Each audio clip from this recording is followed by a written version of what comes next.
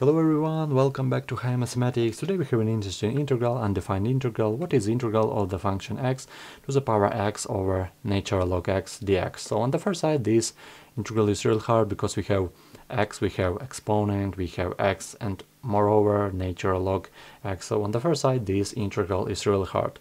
But take a look, if we express this x as e to the power natural log x, so let's write it, it will be equal to integral. Let's express this x as e to the power natural log x and raised to the power x over natural log x dx.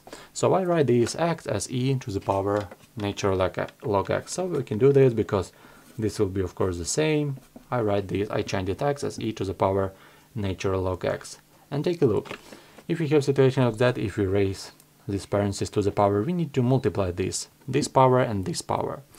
If we multiply this, we cancel this nature log x because we have this x in our numerator and this x in our denominator. So of course we can we can cancel it.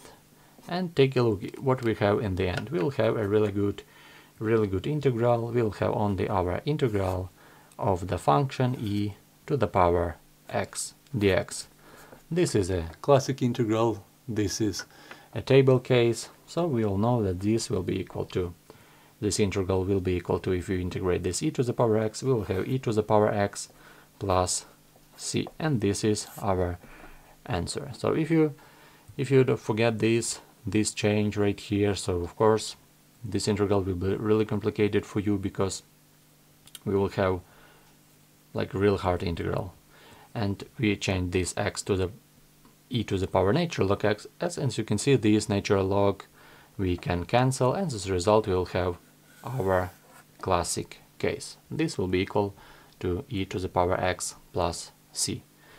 If you have any question, maybe you have other method, write your suggestion in a comment, write your question in a comment.